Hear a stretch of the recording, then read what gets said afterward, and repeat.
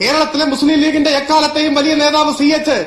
മന്ത്രിയായതിനു ശേഷം അദ്ദേഹത്തിന് മലബാറിൽ ഒരു സ്വീകരണം കിട്ടി. ആ സ്വീകരണ യോഗത്തെ പ്രസംഗിക്കുമ്പോ തന്നെ കേൾക്കാൻ കൂടിയ പുരുഷാരത്തോട് അദ്ദേഹം പറഞ്ഞു കഴിവുകെട്ടവനെന്നൊരു പക്ഷേ ഞാൻ പേര് കേൾപ്പിച്ചാലും അഴിമതിക്കാരനെന്ന് പേര് കേൾപ്പിക്കില്ല.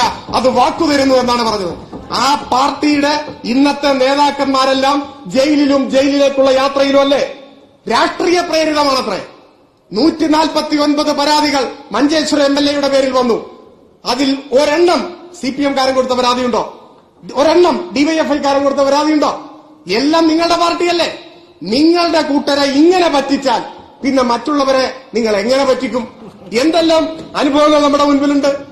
പാലം പൊളിഞ്ഞു വീണു. രാഷ്ട്രീയ പ്രേരിതമായിട്ടാണോ പാലം പൊളിക്കേണ്ടി വന്ന് ഇഞ്ചി കൃഷി നടത്തി ആറായിരം സ്ക്വയർ ഫീറ്റ് വീട് കർണാടകയിലും മാണ്ഡ്യയിലും മൈസൂരിലും ഇഞ്ചി കൃഷി നടത്തുന്ന പാവപ്പെട്ട കൃഷിക്കാരൻ ലോൺ തിരിച്ചടയ്ക്കാൻ കഴിയാതെ ഒരു മുഴങ്കാരൻ തൂങ്ങി വരിക്കുന്നു അപ്പൊ ഇവിടെ ഇഞ്ചി കൃഷി നടത്തിയിട്ട് ആറായിരം സ്ക്വയർ ഫീറ്റ് വീട്.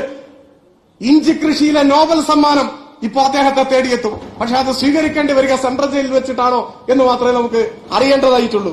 വെറുക്കപ്പെട്ടവരായി നിങ്ങൾ മാറി. നിങ്ങൾ മനസ്സിലായിക്കോണം. പഞ്ചായത്ത് തെരഞ്ഞെടുപ്പിന്റെ ഒക്കെ റിസൾട്ട് അതിന്റെ കൂടി ഭാഗമായിട്ടാ.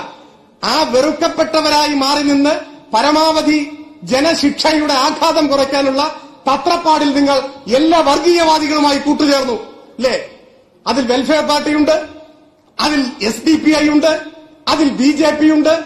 ഇപ്പോ തെരഞ്ഞെടുപ്പ് കഴിഞ്ഞ് ആകെ നാണം കെട്ടപ്പോ വെൽഫെയർ പാർട്ടിയെ യു ഡി എഫ് മുത്തലാക്കി ചൊല്ലിയിരിക്കുകയാണ്.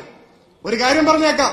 പുതിയ പാർലമെന്റ് പാസാക്കിയ മുത്തലാഖ് നിയമം അനുസരിച്ച് മിക്കവാറും കുഞ്ഞാലിക്കുട്ടിയും മുല്ലപ്പള്ളിയും ജയിലിൽ പോകേണ്ടതായിട്ട് വരും. വെൽഫെയർ പാർട്ടി ജീവനാംശത്തിന് കേസ് കൊടുക്കുമെന്നാണ് നമ്മൾ കേൾക്കുന്നത് നമ്മൾ മനസ്സിലാക്കുന്നത്.